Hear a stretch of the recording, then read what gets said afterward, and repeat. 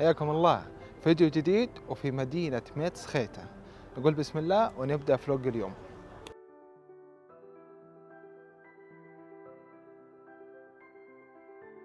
أكثر شيء معروف عن مدينة ميتسخيتا أنها تجمع نهرين كورا وأراغفي. مدينة ميتسخيتا تعتبر واحدة من أقدم المدن المأهولة بالسكان عبر التاريخ. يبلغ عدد سكان مدينة ميتسخيتا ما يقارب 20 ألف نسمة.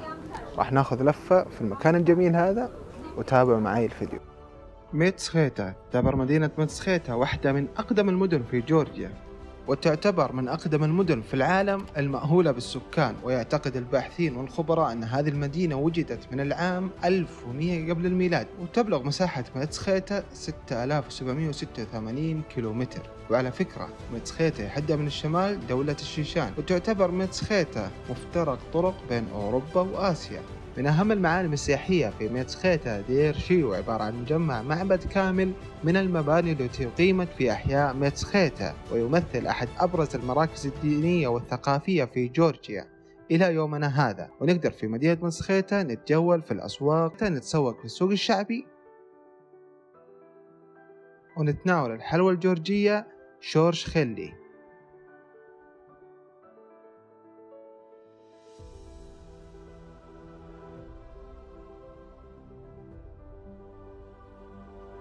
ومن أهم المناطق السياحية في مدينة ميتسخيتا هي قلعة أنانوري واللي ممكن نلاحظ بشكل واضح أنها تقع بالقرب من سد جينفالي وقلعة أنانوري تعتبر موقع سياحي الأكثر أهمية لمدينة ميتسخيتا عبر التاريخ.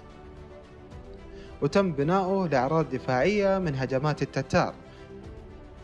وكما أستخدم لحماية وتغطية السكان في حال انسحابهم إلى الجبال. وتمتاز بموقعها الرائع وإطلالتها الخلابة على سد جيفالي مع سبب تسمية القلعة بأنا نوري خلال فترة هجوم التتار على هذه القلعة تم القبض على مرأة تدعى آنا وهي من نوري وسألوها عن موقع النفق ولكن رفضت أنها تبوح بأي سر من أسرار هذه القلعة.